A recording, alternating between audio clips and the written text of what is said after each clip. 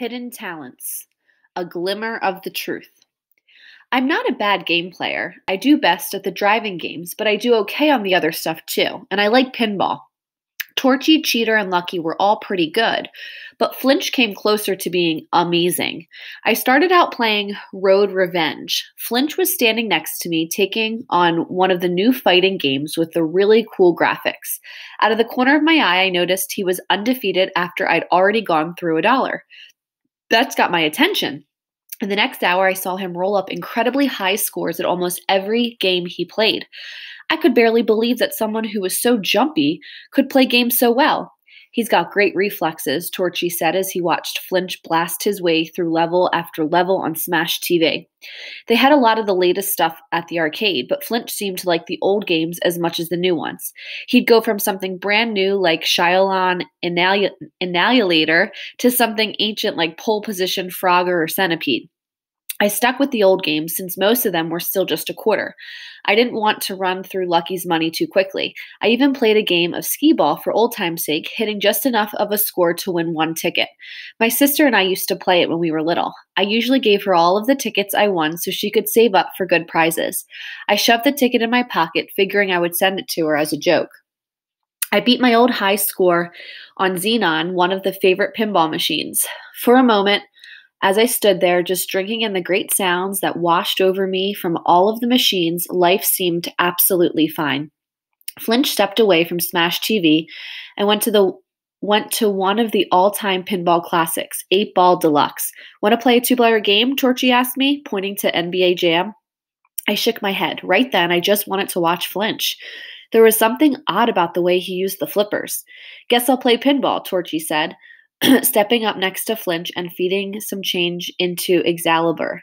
I think if I'd watched Flinch, I might have never noticed what was going on. But with Flinch and Torchy standing side by side, I began to see the difference in the ways they played. After a while, I started to understand what Flinch was doing. At the first suspicions grew, as the first suspicions grew, a shiver of excitement tingled across my flesh. Beneath the thrill of discovery was a tinge of fear. Even though I was sure I'd figured out what had hap- what was happening, I didn't quite believe it. A couple minutes before midnight, the lights blinked on and off. Closing time, the guy behind the counter shouted. We'd better get going, Torchy said. It was just as well. I was it was I was down to my last three quarters. Here, I said, handing them to Lucky. Keep 'em, he told me. I felt funny about that. I don't need keep the quarters, okay? He glared at me, his hands clenched in fists. Yeah, sure, thanks. I wasn't going to get into a fight over it. If he wanted me to have the quarters that badly, I'll keep them. We headed out. I watched Flinch carefully on the way back to the school. He didn't do anything unusual, but I decided to keep an eye on him. We got inside without any trouble. Much to my surprise, climbing up was a lot less scary than climbing down. As Lucky hauled in the ladder and stuck it under his bed, my eyes honed in on the open closet. Wow, I couldn't help gasping.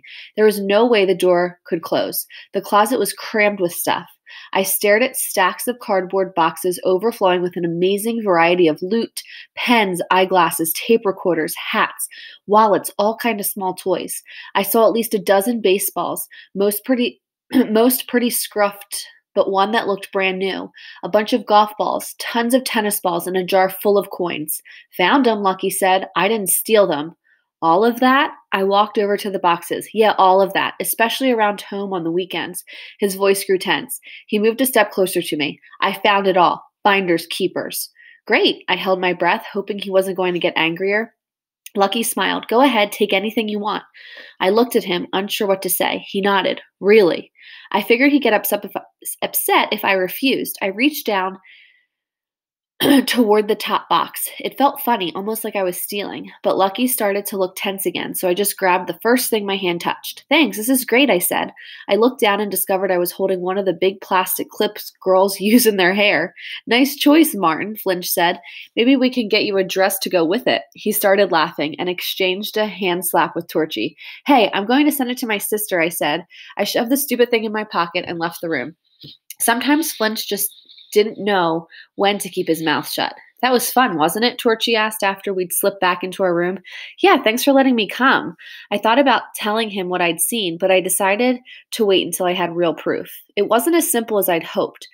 After spending most of the Saturday trying to study Flinch without being obvious about it and learning absolutely nothing, I realized it might be better to get more information first, so I decided to do some research. If I was right, everything I knew about the world was about to change. Everything I knew about the whole universe, for that matter. After breakfast Sunday morning, while all my classmates were hanging out and relaxing or spending quality time at home with their parents, I went to the school library down on the first floor. The librarian, I think it was the same guy who taught the history lecture, seemed shocked to see someone, or annoyed that I had disturbed his nap. I'm not sure which. Either way, I had the place pretty much to myself. I wasn't exactly sure where to start, so I wandered around reading the titles of books on the shelves. I knew I could look something up on the computer catalog that listed all the books in the library, but I didn't even know what to look under. It was like trying to find a word in the dictionary when you don't know how to spell it. But at least the library didn't have as many books as the dictionary had words. Can I help you? The librarian asked after I scanned the shelves for 10 minutes or so.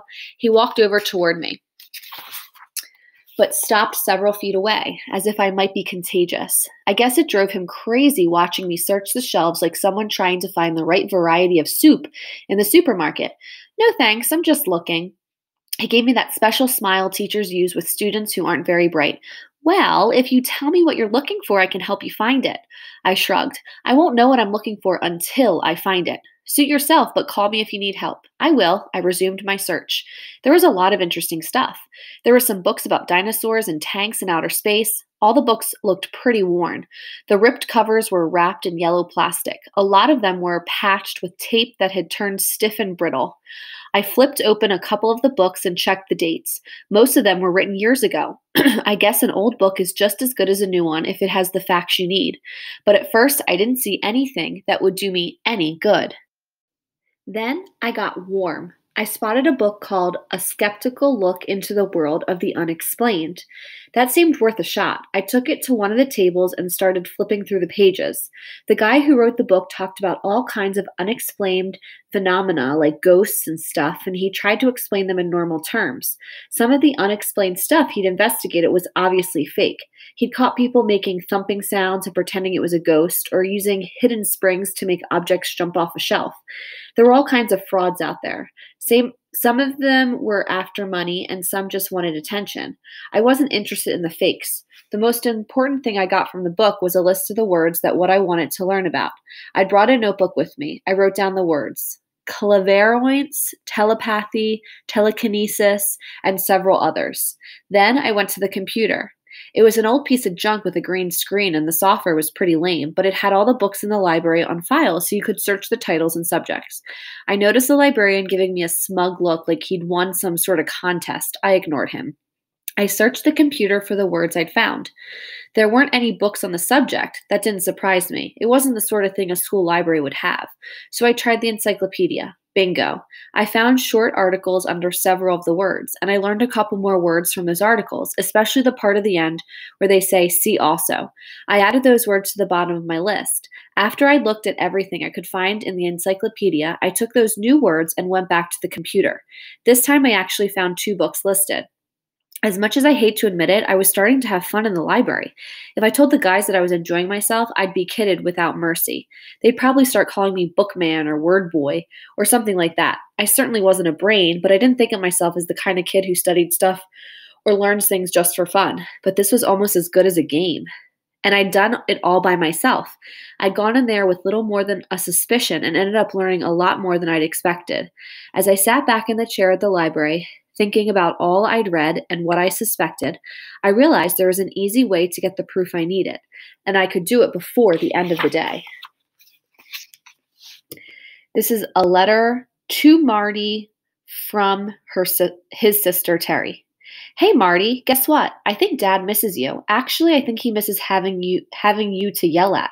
So he's been yelling at mom. She doesn't yell back, of course, but she's been getting even by burning dinner. How's it going out there? I hope you're getting better meals than I am.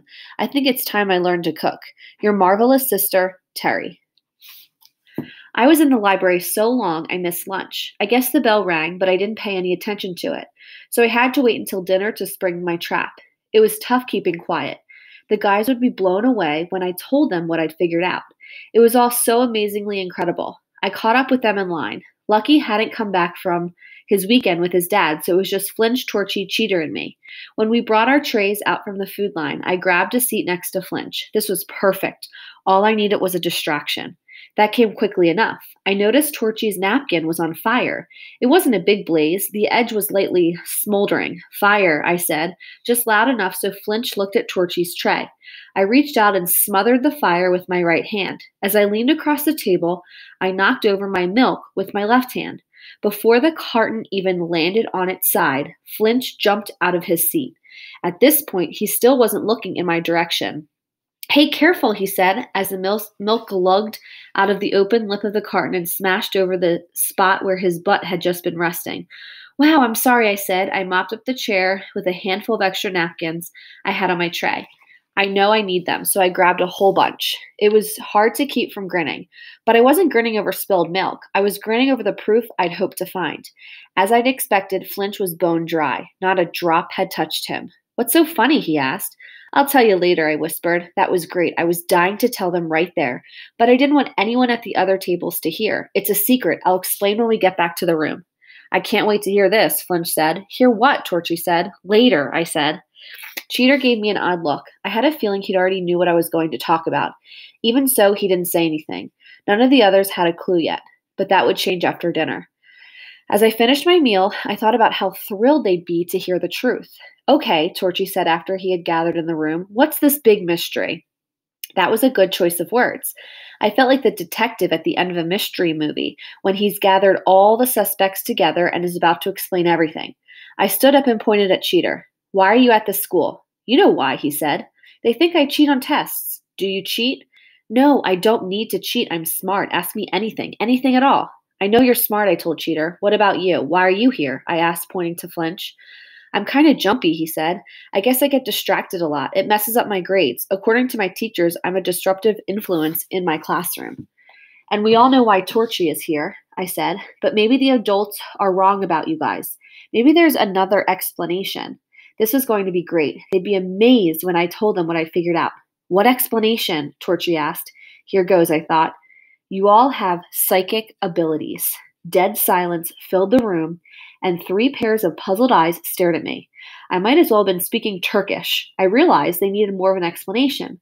I could understand that. This was a big idea to grasp all at once. Flinch has precognition and cheater is telepathic. I said, stumbling a bit over the words as I showed off my new vocabulary. I waited for them to congratulate me on my brilliance. Huh? Torchy said. Precognition? Flinch asked. Sounds like a device that starts a car by remote control. Cheater just looked at me like I was crazy. Really, I said, it's true. Cheater is telepathic.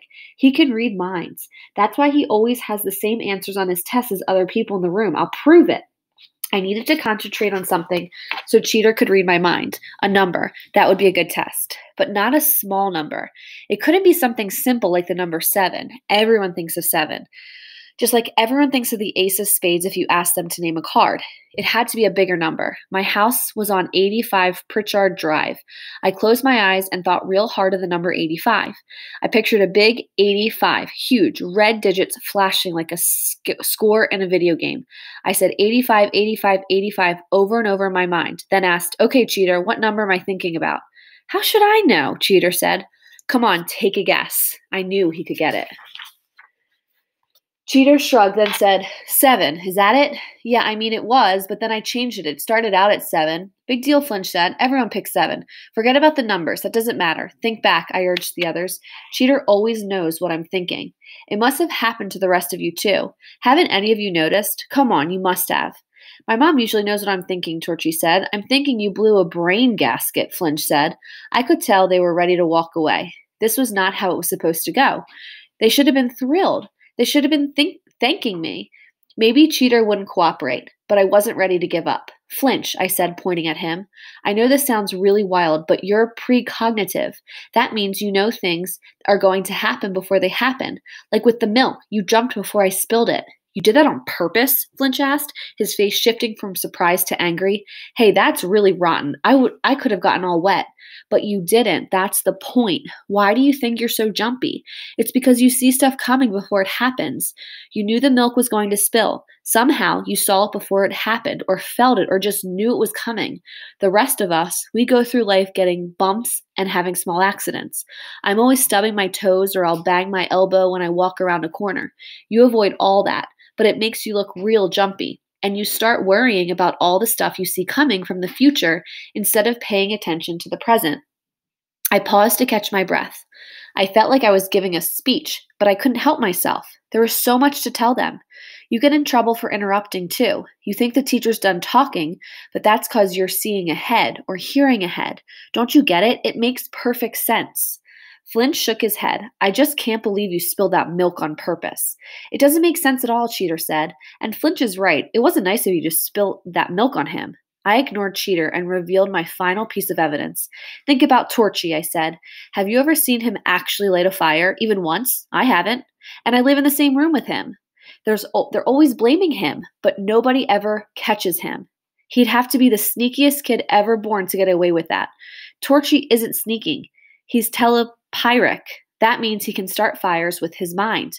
I grabbed my notebook, ripped out a page, and thrust the sheet of paper at Torchy. Come on, light it. Martin, Torchy said, this is some kind of stupid joke, right? No joke. Come on, light it. I moved the paper right in front of his face. Please, I can't do nothing like that. Honest, I told you, I didn't start no fires. You didn't know you started them, I said, but you caused the fires, not with a lighter, but with your mind. Come on, try. If you're my friend, you'll at least give it a shot. Despite his protest, Torchy tried. He stared at the paper. His brow got all wrinkled. His eyes narrowed to slits. He concentrated so hard that he grunted. Nothing happened. Are you sure you're trying? I asked. Yeah, I'm trying. It's not working. Face it, Martin. You're crazy. How's that for a simple explanation? Edgeview has gotten to you. Yeah, Edgeview has pushed you over the edge, Flinch said. How's the view from there? I'm not crazy, I told them. It all makes sense. Perfect sense. Think about it. It's getting late, Cheater said. It's almost 80, 85. What did you say? I spun toward him. A tingle of excitement ran through my scalp as his words sunk in. 85. From the Franklin Concise Encyclopedia. Telepathy, also known as mind reading, is the theoretical ability to sense the thoughts of others. Though many claim of telepathic ability has been made over the centuries, no scientific evidence has been found. Cheater pointed to his watch. I said it's nearly 8:35. No, you said 85. That was the number I was thinking. Really, look. I can prove everything. We set up some tests, okay? I'd read about all kinds of tests for psychic abilities. Some of the tests use these cards with different patterns on them. I figured I could do the same thing with a regular deck. If Cheater, Cheater could tell what card I was looking at, that would prove he could read minds. And if Flinch could tell what the next card was before I turned it over, that would prove he could see the future. As for Torchy, all he had to do was set the deck on fire. I'm sure someone has cards. Let me find cards and I'll show you. Maybe tomorrow, Cheater said as he walked toward the door. Yeah, I'm out of here, Flinch said. He started to follow Cheater. Then he jumped back. At that instant, Cheater yanked at the door real hard. It flew open and the knob slipped from his hand. If Flinch hadn't jumped, he'd have gotten hit. See, I shouted, pointing at Flinch. Flinch glanced at me. See what? Nothing happened. Forget about it, Martin. It's not funny. I watched them leave, then plucked down on my bed. It's true, I said to Torchy. Every single word I said is true. I looked it all up. It's in the books. I couldn't understand why Cheater had gotten so angry. It didn't make any sense at all. Maybe Flinch was angry about the milk. Okay, I could see that. But still, the stuff I was trying to tell him was way more important than a pair of wet pants. Torchy sighed. It would be nice if you were right, he said. I really didn't start those fires, honest. I know, I told him. That's what I've been trying to explain, but everyone acted like I was out of my mind. Don't you see? This means you didn't do anything bad, at least not on purpose. You and Flinch and Cheater aren't like the other kids at Edgeview. You don't belong here. You're innocent. If I could convince Torchy, I figured I could get him to help me with the others. But Torchy glared at me. So the only person who believes me is a crazy kid, and he thinks I'm some kind of freak who can start fires with my mind. Wonderful. Maybe I can get a job in a circus. He dropped down at his chair and picked up a magazine. But I didn't know what else I could say to convince him. For a moment, I sat on the edge of my bed and watched Torchy. As he read, I could have sworn that I saw a small wisp of smoke rise up from the front cover of the magazine, right where he held it. Maybe it was my imagination. I sniffed the air. There seemed to be a faint burnt odor, but our room always smells like that. I kept watching, but there was no more smoke. Why didn't he believe me? It was so obvious. I thought about all the time I'd spent in the library. Couldn't they see I was trying to help them out? I'd even missed lunch for them. The least I could do was think about what I'd said. And Torchy, who claimed to be my friend, had let me down the worst. All he had to do was start one stinking little fire while the others were watching, and they'd know what I, that I was right. One lousy, stinking little fire. That wasn't a lot to ask, but he hadn't done it.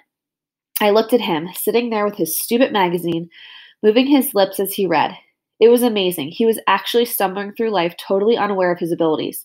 I got off the bed and walked over to him. There had to be some way to make him understand. When I opened my mouth, the wrong thing came out. If you were smart, you'd believe me. I told him. But I guess you're not very bright. Face it, you're probably not even smart enough to be called stupid. You need another 10 or 20 IQ points to reach that level. Torchy threw down his magazine. He looked like he wanted to stand up and take a swing at me. I almost hoped he would, but he just said, I'm as smart as I need to be. He stared at me as if daring me to say another word. I kept my mouth shut. Torchy picked up his magazine and went back to reading. I crossed the floor, flopped on my bed, and turned toward the wall. The silence in the room grew heavier with every passing minute, broken only by the rustle of each page that Torchy turned. The crinkle of the paper reminded me of the crackle of a fire. I knew I'd been wrong to say those things to him, wrong and rotten. Just thinking about it made me feel guilty. I took a deep breath and told him, I'm sorry. That's okay. He still sounded hurt. I knew it wasn't really okay. He didn't say anything else, and I didn't know what to say to him. Darn, what was wrong with me? I couldn't even fit in with the freaks and misfits. After Torchy and the others had let me into their group so quickly, I figured things might be okay here. It was my own fault. I'd been stupid enough to believe I'd make friends. I sat on my bed and looked around. Torchy was just a few feet from me, and dozens of the others were right down the hall. There were kids everywhere, but I'd managed to end up alone. Way to go, Martin. From the moment I'd gotten to Edgeview, Torchy had been friendly. Now he didn't even want to look at me. I stood up and let my eyes wander around the room. The wall above my bed was bare and empty. That was there was hardly any sign that someone besides Torchy had lived in this space during the last three weeks. I'm going out, I said. He didn't answer. I left the room and walked down the hall, looking at the closed doors lining both sides of the corridor, and knowing I had no place to go. Nobody wanted to see me. Nobody cared. It felt almost like being at home. In the car, coming back to Edgeview. Lucky. Mind if I turn on the radio? Mrs. Calabrese. As long as it isn't that modern stuff. Lucky. Oldies? Mrs. Mr. Calabrese. Sure. Lucky. Hey, the new kid I told you about last month. Remember? No. You know, the one in Torchy's room? Right. I think he might be okay. I wasn't sure at first, but it seems like an okay guy. I trust him on my side if things got tough. Mr. Calabrese, if things get tough, leave the room. Besides, if he's okay, what's he doing at Edgeview? Lucky, hey, what about me? I'm there. Mr. Calabrese, I know. If I was walking away from a bad situation, I was walking into one that was worse. I realized my mistake halfway down the hall when I came face to face with Bloodbath and three of his gang Grunge, Lip, and the other guy with a skull tattoo on his forehead. Hey, this is a toll road, Bloodbath said, holding his hand out. Pay up. I don't have anything, I told him, taking a step back. Grunge and Lip took two steps forward. Everyone has something, Bloodbath said. Before I could move, Grunge grabbed me in a headlock. The sharp, ripe smell of his unwashed shirt smacked me like a punch to the nose. I tried to pull away, but his arm tightened, locking around me like a giant handcuff. Lip and skull face flipped my pockets inside out. Three quarters dropped to the floor, followed by a fluttering green rectangle. I try not to stare at it.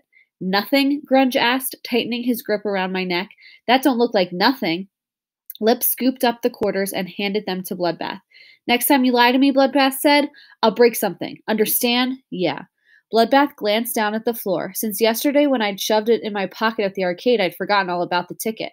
What's that? Bloodbath asked, tapping the ticket with his toe of his sneaker. I came within a breath of saying, It's from the arcade, but I couldn't. I'd given my word to keep the secret. Even after the way Torchy said the others had treated me, I wasn't going to rat them out. At least the ticket had fallen face down, so it wasn't obvious that it was an arcade ticket. I tried to remember what was written on the front. Hey, Grunge snapped, squeezing my neck so hard that things started to turn gray. The man asked you a question. If he caught me lying, I was dead. It's my lucky ticket, I said. I've had it for years. They all laughed. Doesn't seem to be working very well, Bloodbath said. He must have given some signal because Grunge unclamped his arms from my neck. But Grunge wasn't quite done. Instead of just letting me go, he pushed me hard. I was already off balance. I staggered and fell. Man, this job pays lousy, Bloodbath said, jingling the quarters in his hands as he walked away. I glared after them, then reached out and turned the ticket over. On the front in giant letters, it said Mondo Video. I shoved it back in my pocket. As much as I didn't want to return to the room, it seemed safer than staying in the hall. I wouldn't be very pleasant to be around if Bloodbath wandered back. There really wasn't any choice. I headed to the room. Torchy didn't even look up when I came in.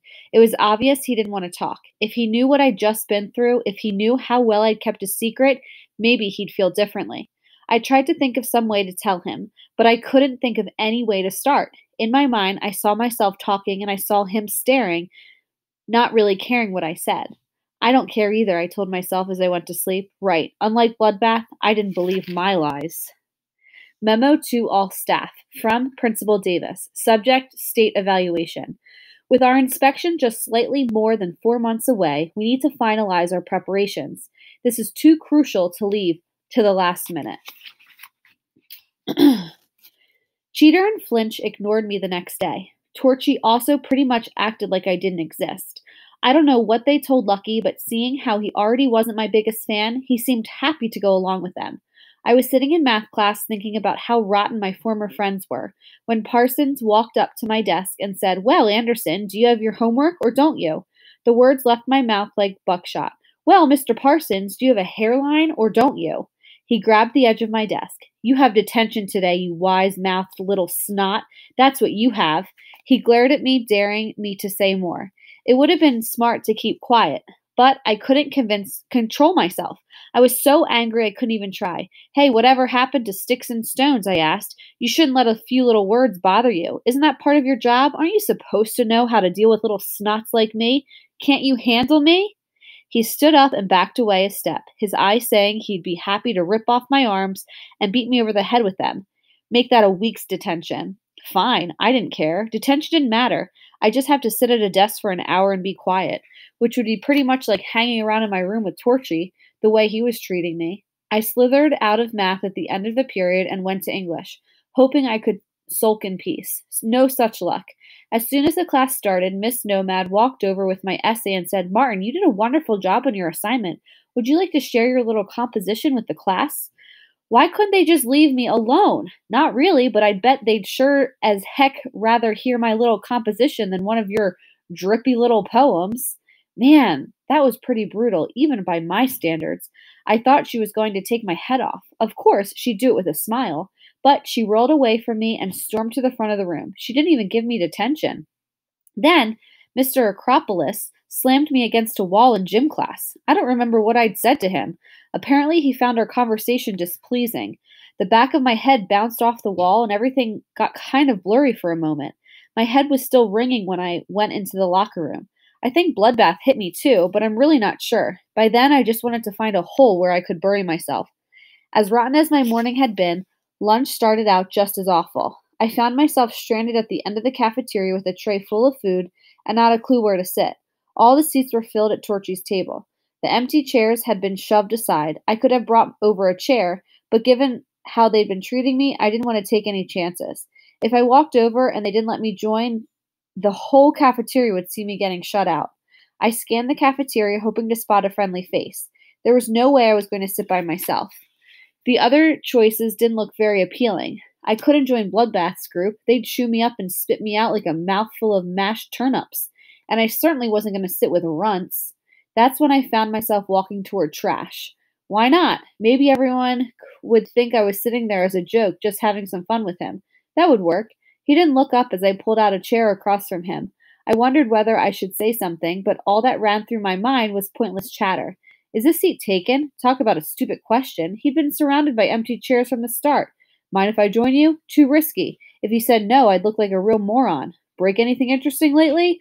Right. So I just sat down. Trash's eyes flickered toward me, but he stayed hunched over his food. Hi, I said, feeling awkward. There was still the possibility he'd ask me to leave. Hi, that's all he said to me. No welcome, no suggestion that I get lost, just a hi. Sadly, it was the nicest conversation I'd had so far that day. I didn't bother trying to talk anymore. I ate my lunch, struggling to get the food past a past a throat that wanted to close tighter with each swallow. I'd sat with my back to Torchy, so I couldn't even tell what those guys were doing, but I was sure they were amused to see me at Trash's table. I could just imagine what they were saying. As I finish as I was finishing my lunch, I was startled from my thoughts by a clatter of metal against linoleum. Trash had thrown his fork on the floor. Why'd you do that? I asked. Trash didn't offer any explanation. No big deal, as long as he didn't stick his silverware into me. I didn't really care what he else what he did with it. He could sit on his fork and spin in circles if that made him happy. The bell rang. I passed Torchy on the way out, just to see if he'd say anything. There was no harm giving him a chance to apologize, but he ignored me. I mouthed off to Mr. Briggs in science. He didn't look too thrilled, but he let it go. Miss Crenshaw wasn't as reasonable. She kicked me out of class and sent me across the hall to the lecture. I almost made it through geography. The class was nearly over when Mr. Langhorne started walking around the room, quizzing us on capitals. He marched up to me, an open book in his hand, leaned over and shouted, Burma! I hated the way he shouted. At least all I had to do get to get off to get him off my back was say Rangoon. I knew that stuff. I'd learned most of it back in 7th grade. Instead of answering, I reached out and sl- slammed the book shut right between his hands. He looked so startled, I thought his eyebrows would fly fly off toward the ceiling.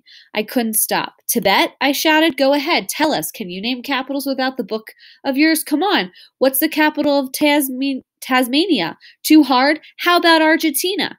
Mr. Langhorne threw the book down. You arrogant little beast, he said, pointing a shaking finger at me. You'll be severely punished for this. He stomped back to his desk and wrote something on a piece of paper. Take this to the office, he ordered, shoving the slip at one of the runts. I heard a couple of kids chuckling. Langhorne did look pretty funny. I glanced over at Torchy. He started to smile. Then I guess he remembered he wasn't talking to me because he turned away. Cheater looked away too, but not before mumbling, Lhasa, to show everyone he knew the capital of Tibet. After class, I reported to the detention room. It wasn't crowded. From what I'd seen, a kid had to just about commit murder to win detention.